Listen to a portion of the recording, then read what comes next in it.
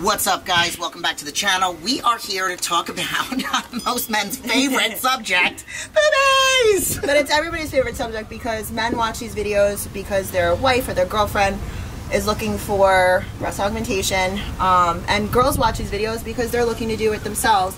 And there's not a lot of people that answer the questions. I know I reached out to a lot of people back when I first started getting into training um, questions about breast augmentation, getting back into it, and we're going to cover all those right now.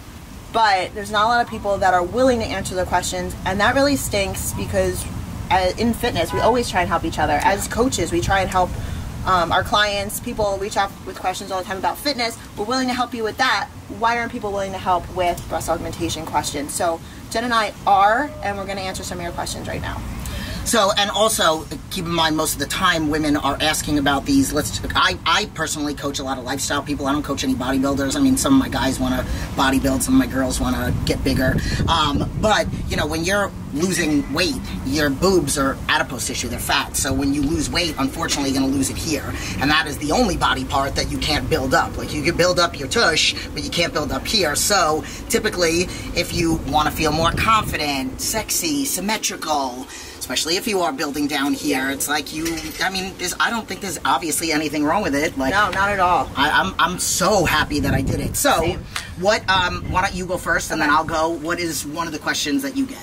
Um, so the biggest question that I get is, when can I work out again? And I did a bunch of videos on my channel regarding this, but the big thing with getting back into breast augmentation, your doctor might not understand what you do for fitness. So whether it be bodybuilding or powerlifting or strongman or CrossFit, you're going to have different a different timetable for your recovery.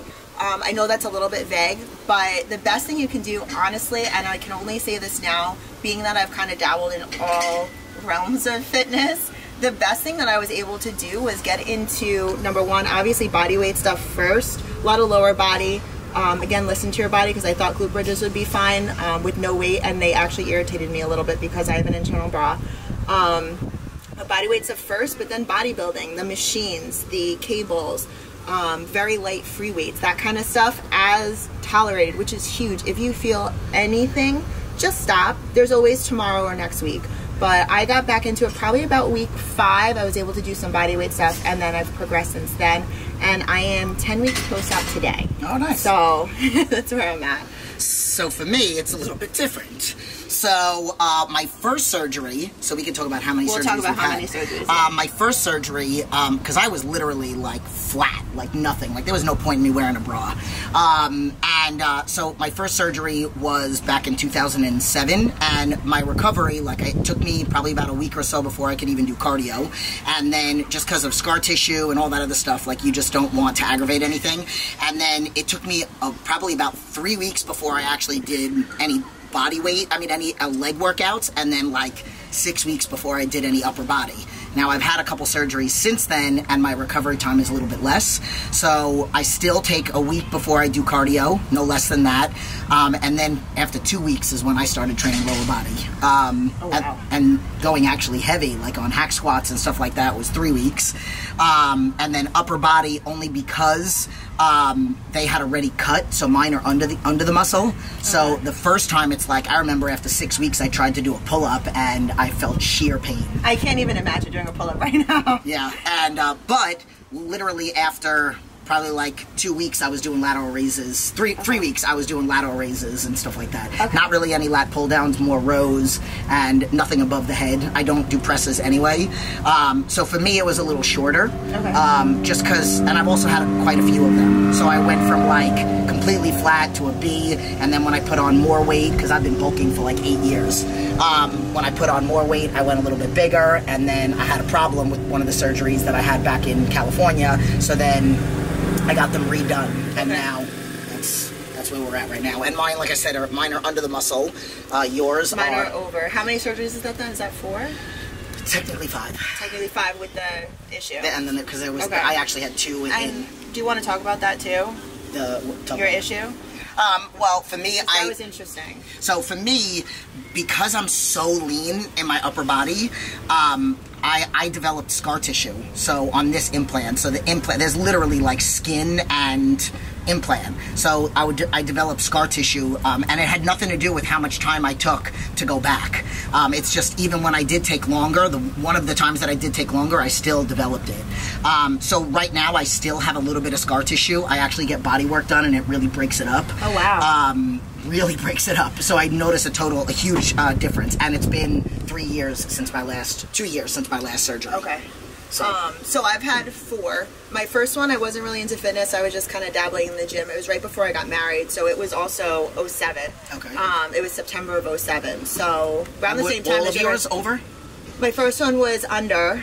Um, but I didn't really feel anything significant. I didn't do. I had no business doing pull-ups at that time. Like I was a cardio junkie. Um, I hadn't even started the P90X realm yet. I did that for years. Um, that was post breast augmentation, but I did get into doing pull-ups and stuff when I was over the muscle. My second surgery wasn't until my daughter was born, and I got into CrossFit. So I had already gone to regionals for the first time as a CrossFit athlete, and that was definitely hard to get back into. Um, I noticed also that the doctor didn't know what I did when I said I wanted to get back into the gym. I meant I wanted to throw a 150 pound barbell over my head, and he thought that I was going to be doing like Lateral raises, Lateral with eight pound raises and- dumbbells. and dumbbell Not saying there's anything wrong with that.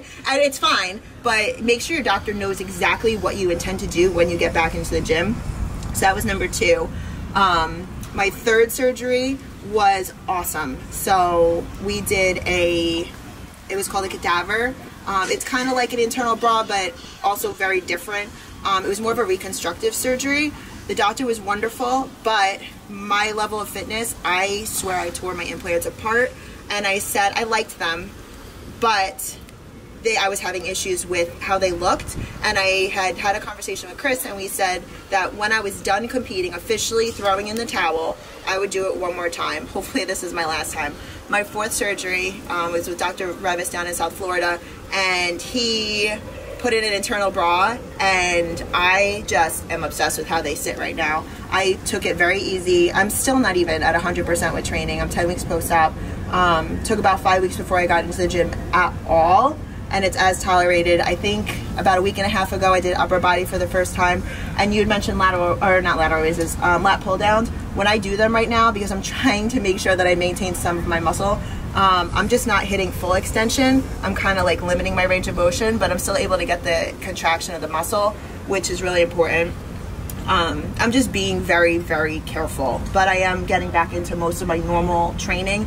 Upper body's lightweight, and the last probably week and a half is when I started pushing my lower body a little bit more. So I'm actually like exhausting my lower half finally. So then let's also talk, because this is a question that I get Uh-huh. asked a lot. Um, training chest. I'm never gonna train chest again. Sorry if you like watching my bench press videos. Okay, but technically, you having implants over the muscle, there's nothing wrong with that. But if you have implants under the muscle, you should not. So I don't let any of my girls that have implants train chest if they have implants under the muscle. Because you can cause fair. a lot of da- damage. That's fair. Um, with the internal bra, that's why I don't want to train chest anymore. There's also no reason for me to if I'm not competing. I feel like there's no reason for me to build up my chest muscles. Um, I don't like the way my pecs started to look. With the Um, line, you mean? Yeah, and because I was so overdeveloped and I have shoulder issues, my body overcompensates from one side to the other. So I had one pack that was way more overdeveloped. So when I was working with the doctor, I said like I wanted to get rid of that line, and he definitely like I'm symmetrical now. So he was actually able to scrape and like lift my implants up. So we're covering that line. So hopefully the pecs will go down a little bit. I want that to happen. You guys might not want to, but my intention is not to train chest anymore. I don't have to, so I'm not going to. Yeah, and I always tell my girls. I mean, I have a couple girls that just like, and they don't have implants, that just like training chest. Yeah, they just. I mean, like- I got it. I love it. Right. It's empowering. Yeah. but But you um, technically don't have to. yeah. Like, unless you're a female bodybuilder that needs striations Yeah. when you do your side chest, like, there's really no point in doing it. exactly. So, So another big one is with, like I said, my first surgery. I was under the muscle, and I had gotten into CrossFit and it was highly competitive while I was under the muscle. And the big thing that I noticed, especially with mostly body weight stuff, but when I would do like a muscle up or a push up, I would press, and my implants would go all the way to the side, and you'd see like beautiful striations of pec muscles. But You'd my see the implant, physical like, implant would flatten and go to the side underneath my armpits. it was not the prettiest thing to look at and I, I would ask people not to take pictures of me while I was doing these movements because it was to me I felt embarrassed and very highly self-conscious about it um, do you find any issues with that when you have people chaining chest or you chaining chest because you're under the muscle Yeah. So the one thing that I did have is I don't. I'm I'm done competing. Also, um, I just announced didn't know why. that. Yeah, I'm done. I'll, I'll tell you guys why in this video. But um, I would notice in my uh, like side pose, like Uh-huh. if I pushed a little bit, that that implant you uh, you would see it. Okay. And then in my like front when I do like my little superhero pose. Yeah. One of them, and normally the one with the scar tissue, you would see it kind of like flatten out. Okay. One thing that I do like about uh, Chris Korosami, he's my um, uh, surgeon in Vegas. Um, I get the most compliments, yes, from guys, but even from a lot of girls. And even sometimes the way the guys compliment is not very douchey. It's like, Jesus, I can't believe how natural and how, like, you can't, like, it really looks like natural boobs. Okay. Even though I'm a bodybuilder. So, um, and it's under the muscle, so they still, like, fall perfectly. Okay. Um, but I am not competing anymore. I made the announcement. I got my pro card. I've been competing on and off for 15 years. I cannot believe I have a 15 year old son. I've been competing since eight months after he was uh, born. But um, the reason why, and I'll keep it real short and sweet, is I've been on my own since I was 16. I'm going to be 46 in less than a week, two weeks. Um, and I've li- literally never really gone on a vacation. I wouldn't even count my honeymoon. That's a story. Then two other vacations that were not vacations. So my goal is that I want to go on vacation, and I love my job. And if I'm gonna go on a vacation once or twice a year to like a tropical island, whether it's with a guy that I'm dating or whatever, my future guy, um, I want. I, I don't want to take off a lot. So if I'm having Okay. to take off for competition and then I'm having to take off again to go on a vacation, for me that's too much away from my clients because I love Yeah. what I do. Um, plus, the big thing for me is the ultimate goal, right? The ultimate goal when you compete is to be the best, right? Yeah. So the ultimate goal in bodybuilding is to make it to the Olympia stage and be Miss Figure Olympia. I don't want to do physique because I don't want striated glutes and I don't want to get much bigger. I mean, I like my size now, maybe my legs and my ass a little bit bigger, but they'll never give me Miss Figure Olympia because of my tattoos. They've never said that, Okay. but I know they won't. They want like pretty princess. I gotcha. And I want to keep my femininity, so I'm always going to stay in my version Mm-hmm. of figure, my superhero version of it. So if I can never be Miss Figure Olympia, I don't want to go just to say I went to the Olympia and made Yeah. top three or top five. Right. So what's the point? Everything I do, I do with purpose. I respect that. So I'm just right now. I just want to Yeah. train my clients, enjoy my kids, and uh, go on vacations. Yeah, that's I love that and I respect that so much. Done. you. Uh, just have to like know where you're at in life too. The other thing is for me, really big was my I you know I have a lat tear. Yeah. Um, that seems to be the most limiting. Not the labrums, believe it or not, I have bilateral labrum tears, but my lat is what is most limiting. And knowing that I like deadlifting is really painful. Um, there's a lot of movements that I really can't do, but when I went to World's Strongest Man when I was in Myrtle Beach, a lot of people were coming up to me asking me like how I felt about not competing. Don't you want to do it again? I love competing. It's amazing to me, but the longevity, uh, like the health and the health of the fitness that I do is the most important. So if you were to take that away, if I was to be so crippled that I could not do any of this anymore, that would be such a mental funk for me that I like. It's not. I just the depression that would set in is just enough said. Yeah. So I want to be able to do this for the long term. It's iron therapy. That's my, I mean, it. I hope that one day my daughter gets into it. She's into gymnastics, but I hope that we have that one day. But if I cripple myself now, later on, it's all over. I have Yeah. nothing left. So that is sometimes the overall intention of life, and knowing that you want to be able to do this for the long haul is more important. So that was like my piece, Yeah. And I'm okay with that right now. So, and I'm gonna be okay with that forever.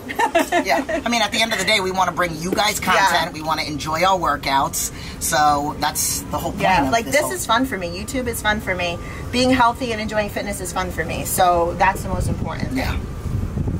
All right. All right. So I hope you guys liked this video. I hope it was um, informative. Um, if you do have questions, I was just gonna say we that. love answering questions. And every time we're together, we go back through these videos and we pull the questions from them and we answer more questions. So if you do have questions, you can comment below.